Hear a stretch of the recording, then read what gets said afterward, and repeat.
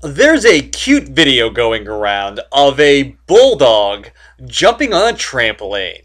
Now, before I continue, I want you to look at the title of this video. You can see the letters RE, that means response. This is a response video. I'm giving my response to the topic. Response videos are allowed on YouTube.